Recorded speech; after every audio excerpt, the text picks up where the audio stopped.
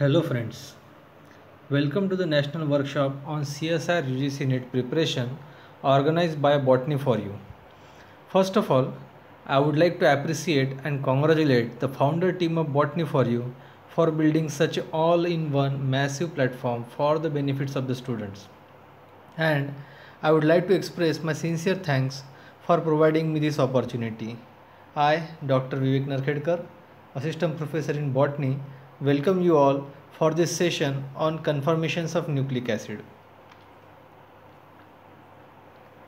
As this talk deals with the conformation of nucleic acids, so let's first understand what is conformation. The word conformation refers to the three-dimensional arrangement of the atoms of a molecule to their spatial organization. To understand this, just look at the given example of butane, whose molecular formula is C4H10. Here you can see differential arrangements of the atom of the same molecule in the space. Such differential arrangements of the molecule represents the conformation. Here first arrangement is line wedge dash conformation of butane and second arrangement is Newman projection conformation of butane. To understand this topic of conformation of nucleic acids, following points will be considered for discussion. Why DNA and RNA are called as nucleic acids? What are the types of nucleic acids? Structural components of nucleic acids. Usual structure of polymeric nucleic acid. Unusual structure of polymeric nucleic acid. What causes conformational diversity in nucleic acid? Structure and the importance of folding in nucleic acid biology, future perspective of nucleic acid conformational studies. Among all these points, you must be having some idea about the few points mentioned in the given list, but we will discuss all of them to understand the basics of nucleic acid conformation. The DNA and RNA are called as nucleic acids because initially they were discovered within the nucleus so the word nucleic is taken. These biomolecules possesses phosphate group which is a derivative of phosphoric acid and because of which it shows acidic nature so the word acid is taken and by the combinations it is termed as nucleic acid. Broadly there are two types of nucleic acids. One is deoxyribose nucleic acid known as DNA and ribose nucleic acid known as RNA.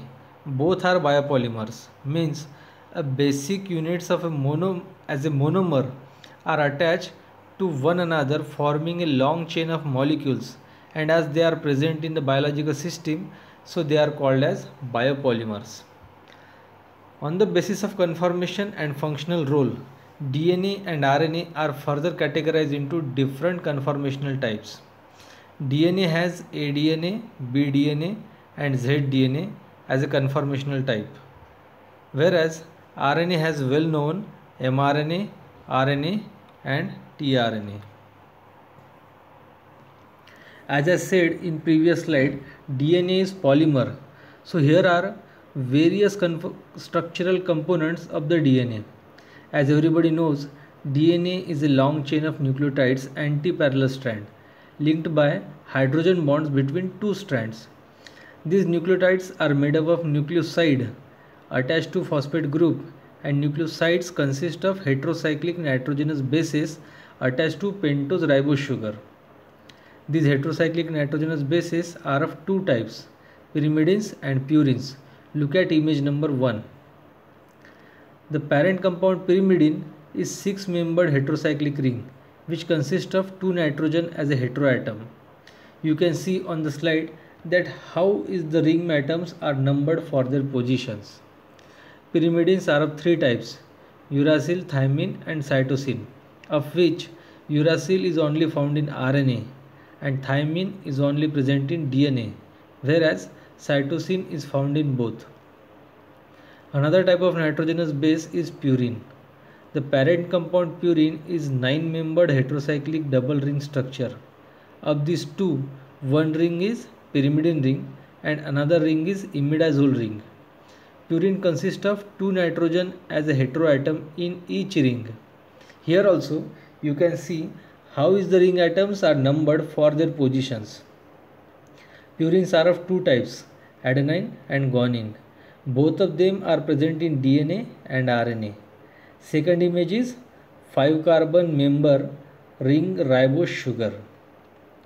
You can see on the slide that how is this ring atoms are numbered for their position. Note that carbon atoms of sugar are numbered as prime just to distinguish between the carbon atoms of nitrogenous base and the carbon atoms of sugar. The carbon atoms uh, the carbon atoms are the carbon number 2 of the sugar ring has different attachment in DNA and RNA. In case of RNA, carbon number 2 of the sugar ring, it has OH hydroxyl group so called as ribose sugar and hence ribose nucleic acid RNA. Whereas in case of DNA, it has only H atom. It is devoid of oxygen so called as deoxyribose sugar and hence deoxyribose nucleic acid DNA.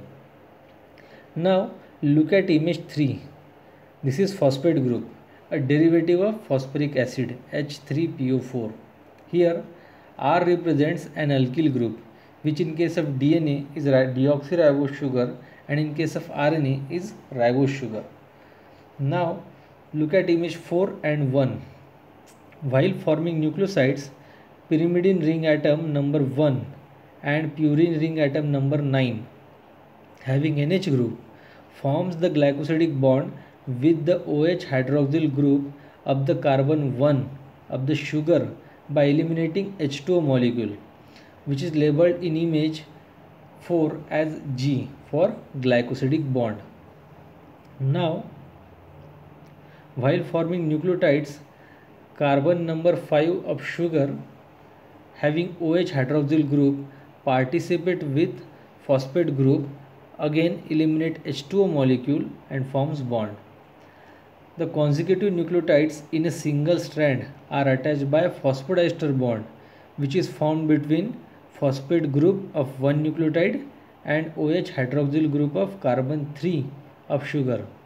This phosphodiester bond acts as a backbone of DNA which is labeled in image 4 as PD for phosphodiester bond. These are various monomers of polymeric DNA and RNA. Pink area represents nucleosides attached to phosphate group and forming nucleotides. Above in image are 4 nucleotide in DNA and below in the image are 4 nucleotide in RNA along with their symbols and nomenclature. As only one phosphate group is present in nucleotides, it is called as nucleotide monophosphate. Just for example, adenine in RNA is called as adenosine monophosphate and in DNA it is called as deoxyadenosine monophosphate. Likewise for all other nucleotides. Now let's see usual regular structure of polymeric deoxyribose nucleic acid. As per the Chargaff's rule of base pairing, purine always makes a hydrogen bond with pyrimidines present on the antiparallel strand and vice versa. Where adenine and thymine forms double hydrogen bond and cytosine and guanine forms triple hydrogen bond. In nucleic acid strand, it is if it is a terminating at hydroxyl group of the third carbon in the sugar ring then it is known as 3 prime end while other terminal is 5 prime end. I will repeat it again. In nucleic acid strand, if it is terminating at the hydroxyl group of the third carbon in the sugar ring, then it is known as 3 prime end while other terminal is 5 prime end. This 3 term 3 prime terminal end with sugar carbon number 3 OH group is necessary for forming bond with phosphate group of other nucleotides. Now let's see the morphology of the established double helical structure of DNA. It has diameter of 20 angstrom. It shows the presence of major and minor grooves. One helical turn of DNA accounts for 34 angstrom and there are approximately 10 nucleotide base pair in one helical turn. So distance between two nucleotide base pairs is 3.4 angstrom. These are the usual regular conformations of the RNAs. mRNA has single stranded conformation where groups of three consecutive nucleotides are designed as designated as codons. rRNA shows very variable conformation with bulges, loops, single stranded and double stranded region. Details about such structure are discussed further in slides. The tRNA shows very unique conformation with respect to its functional role. The structure of tRNA is explained by cloverleaf model. The tRNA molecule has a distinctive folded structure with three hairpin loops and that forms the shape of three-leaved clover. One of these hairpin loops contain a sequence called anticodon which can recognize and decode an mRNA codon and attaches appropriate amino acid to its 3' end. The D loop acts as a recognition site for amino acid tRNA synthetase, an enzyme involved in the amino acylation of the tRNA molecule. While T loop acts as a recognition site for the ribosome to form tRNA ribosome complex during protein biosynthesis or translation. Now let's talk about the stability of the usual structure of nucleic acid.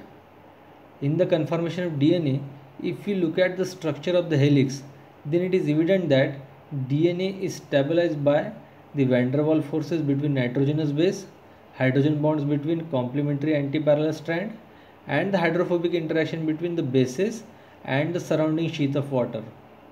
Now, when it comes to structural stability of the nucleic acids in aqueous solution, the three-dimensional stacking arrangement of the planar nitrogenous bases at a constant distance of about 3.4 angstrom plays a very significant role. Also, it maximizes van der Waals interaction. These base stacking interactions in nucleic acid duplex are partly interstrand and partly intrastrand in nature. However, rather than individual bases as a discrete unit, it is the stabilizing effect of base pairs that stabilizes the conformation. The degree of stabilization afforded by base stacking depends on the DNA sequence. Some combination of base pair forms more stable interaction than others. This sugar puckering is the very crucial phenomenon to be considered in case of nucleic acid conformation. The word pucker means tightly gather or contact into, contract into. Generally in pentose sugar, pentose ribose sugar, all the atoms of ring lie in one plane. But in nucleic acid structure, it is evident that carbon atoms at sugar 2' and 3' position moves from its planar position towards the upside into the plane or towards downside downside outside the plane. This is known as sugar puckering. In this sugar conformation, the distance between neighboring phosphorus atom and the orientation of phosphorus relative to the sugar bases are also dramatically different. Numerous crystallographic and NMR studies found that correlation between sugar pucker and several DNA backbone conformational variables both in isolated nucleotides and in oligonucleotide structure. Here image 1 represents the general planar structure of the ribose sugar. Image 2 is about how the nucleotides are bonding to form a polymeric chain. Image 3 shows that carbon 3 prime endo conformation of sugar. Carbon number 3 has moved upside from the normal planar position of the sugar ring.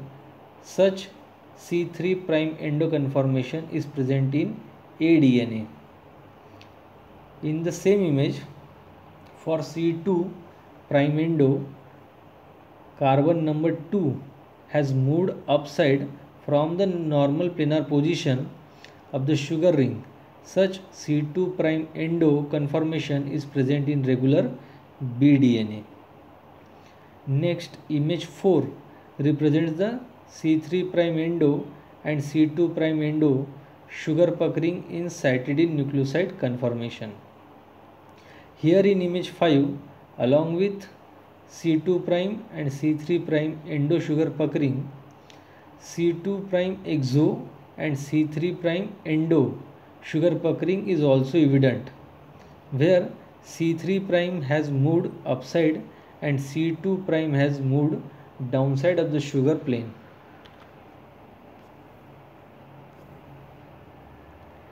Now this is interesting for which we looked at the and revised the basics of DNA.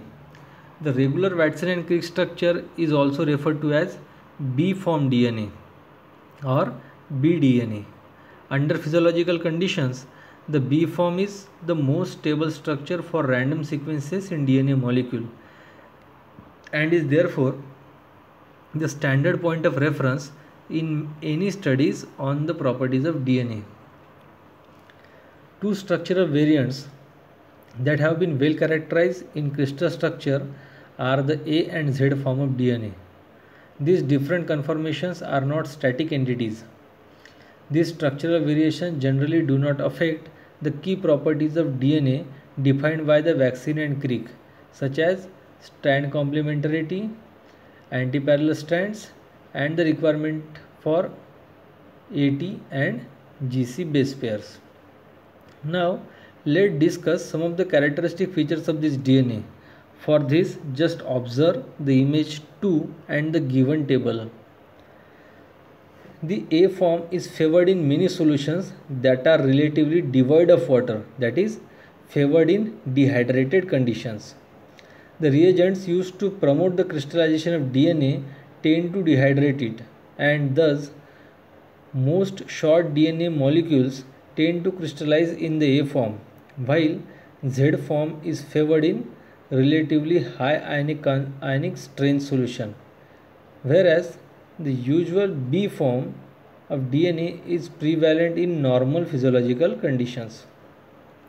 The A and B form DNA are arranged in right-handed double helix while Z form is left-handed helix.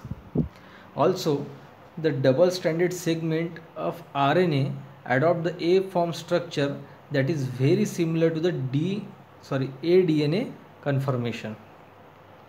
In A form, the helix is wider and the number of base pairs per helical turn is 11 rather than approximately 10.5 in the bDNA.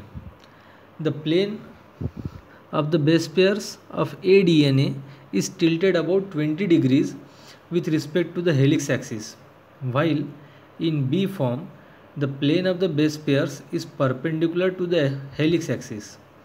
Such structural changes in A form has deepened the major grooves while making the minor grooves shallower.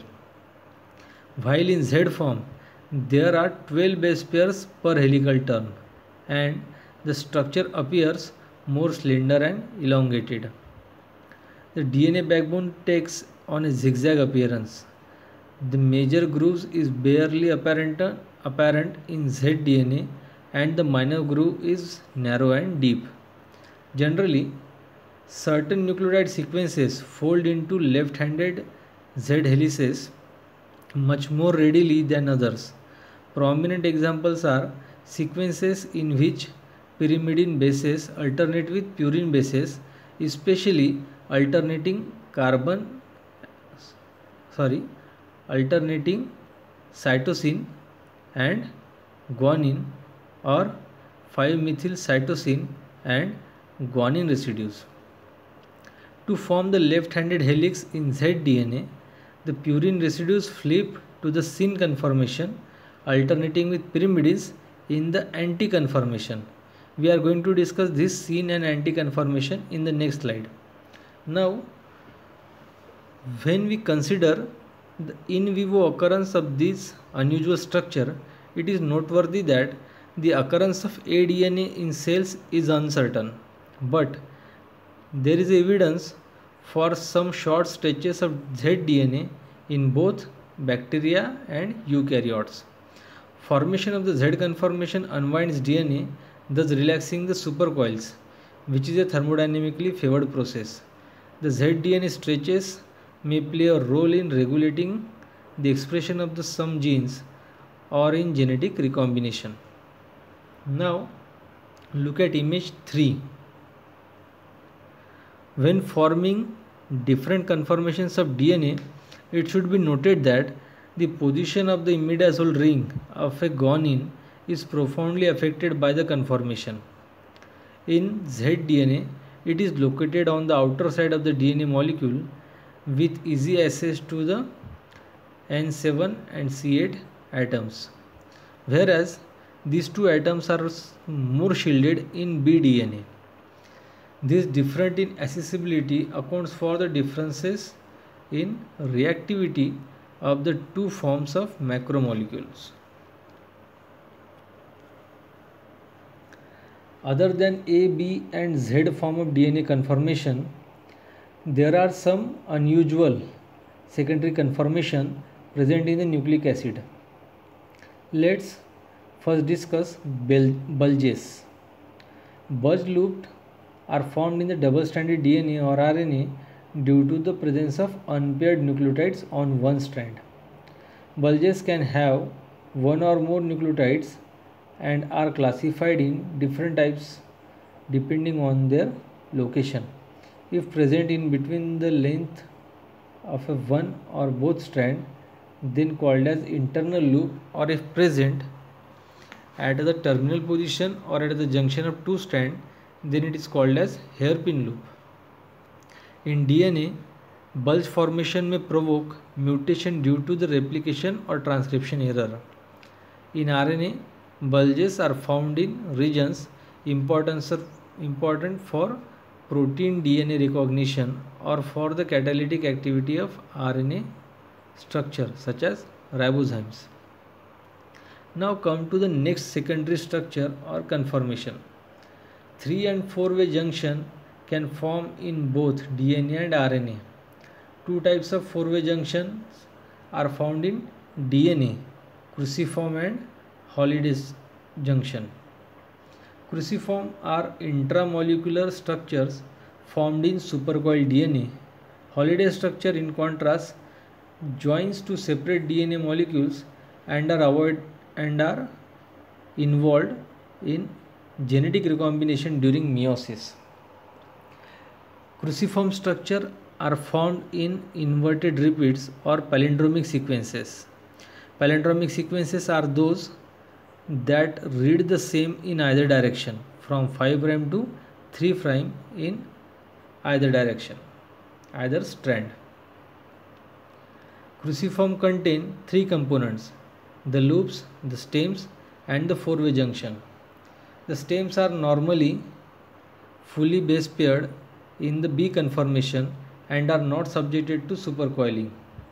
The loops are single stranded structure positioned at the end of the each stem that contain two or more unpaired bases. Holliday junction occur between two DNA regions of homologous sequences to be formed, Holliday junction require the close proximity of the two helices that lead to groove backbone interaction. The four-way junction are involved in major biological events that both in prokaryotes and eukaryotes. If we look at the biological significance of such conformation, it has been suggested that transient formation of cruciform is a prerequisite for the initiation of DNA replication. Holliday junction are found during ribosomes, sorry, during chromosomes recombination in meiosis, a major genetic process involved in gene expression and repair which allows DNA to exchange sequence. I will repeat this point again. If you look at the biological significance of such conformations, it has been suggested that transient formation of cruciform is a prerequisite for the initiation of DNA replication. Holliday junctions are formed during chromosomal recombination in meiosis a major genetic process involved in gene expression and repair which allows DNA to exchange sequences. This is another type of secondary conformation found in nucleic acids known as quadruplex. As it is more prevalent in the guanine base sequence, it is also known as G quadruplexes. G quadruplex is a unique structure formed by Hoogsteen type base pairing between four guanines and involved chelation of metal cation. G quadruplex can be formed by intramolecular folding of guanine rich sequences or by intramolecular association of two or more two or four sequences. In vivo, the presence of G quadruplexes has not been proven yet, but they might be formed in the guanine rich telomeres that constitute the extremities of the chromosome and are essential for maintaining the integrity of the genome. There are certain kinds of conformation that guanine may constitute, such as in case of intermolecular interaction, it may be parallel, antiparallel or hybrid. Again, the same type of intramolecular interaction for forming G quadruplexes. Till now, we have seen the various kinds of conformation conformation conformations occurring in nucleic acids DNA and RNA. Now let's discuss the reason for conformational diversity. The reasons for conformational diversity may be grouped into three types. One is environmental in which nucleic acid is present. Another is possible rotation in the various bonds of the nucleotides and steric hindrance. As discussed in one of the previous slides, the A form of DNA is favored in dehydrated condition while Z form is favored in the relative high ionic strength solution whereas the usual B form of DNA is prevalent in normal physiological conditions. DNA is remarkably flexible molecule. Considerable rotation is possible around several types of bonds in the sugar phosphate backbone.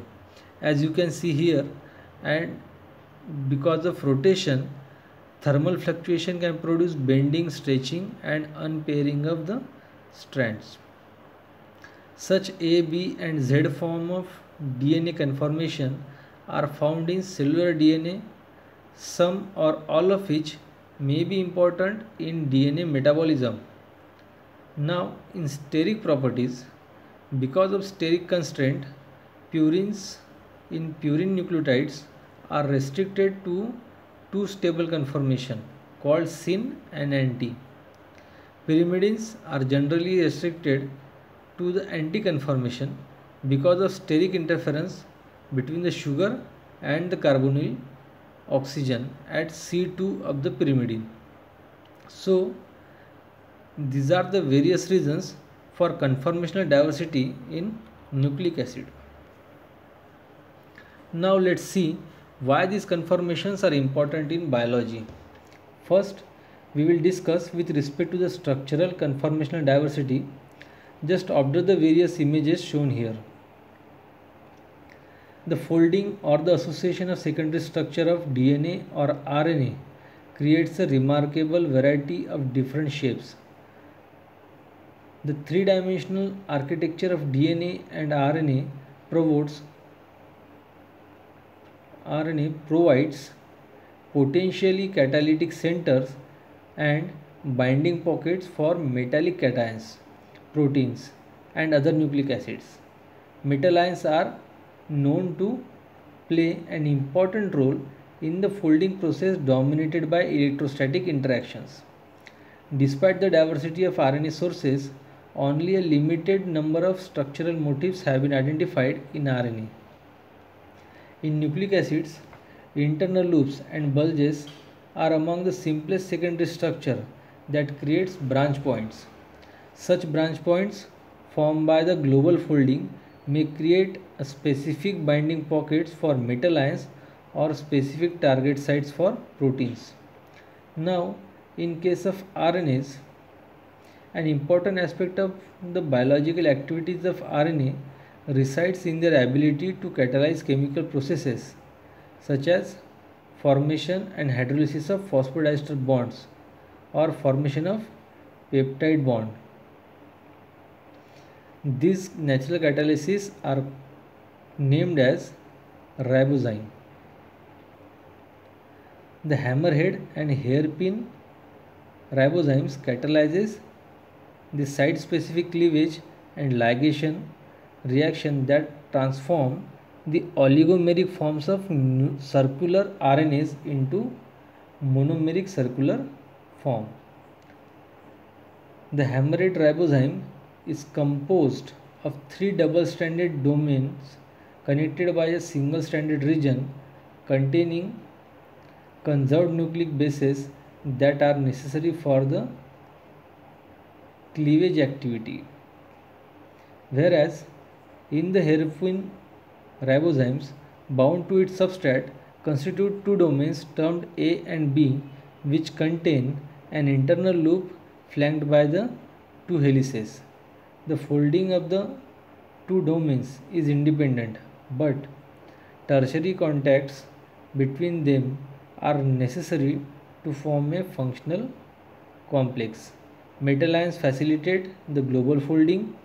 It has been suggested that the role of the tertiary contact might be to organize the active site in such a way that the reaction can be catalyzed by RNA functional groups. Now let's discuss with respect to the folding interaction of nucleic acids. Methods based on RNA protein cross-linking have found publication in the study of nucleoproteins and the recognition of folded RNAs by proteins or peptides.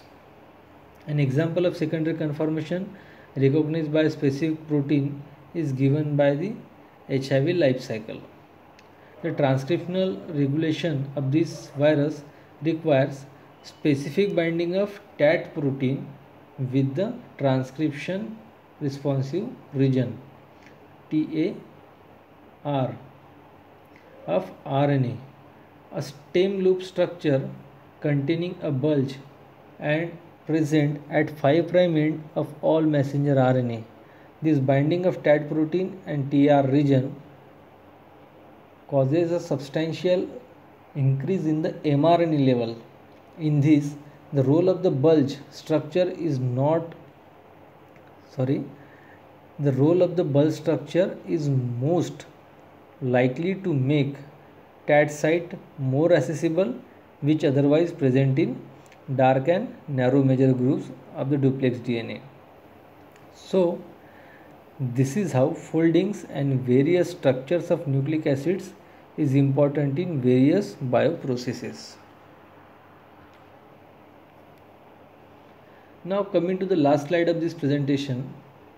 In the last slide, we have seen the significance of various conformation of nucleic slide, nucleic acids. Now let's see the future prospects of the nucleic acid conformation studies. DNA nanotechnology that is the construction of specific geometrical or topological DNA objects is a new field of investigation. The goal includes the use of DNA molecule to organize the assembly of other macromolecules for crystal for crystal facilitation or memory device construction.